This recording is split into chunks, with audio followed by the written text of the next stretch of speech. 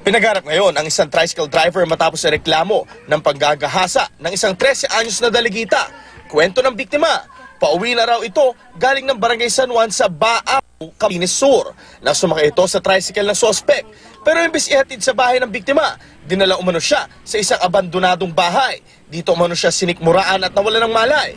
Gabi na nang matagpuan ng biktima sa tabi ng kalsada.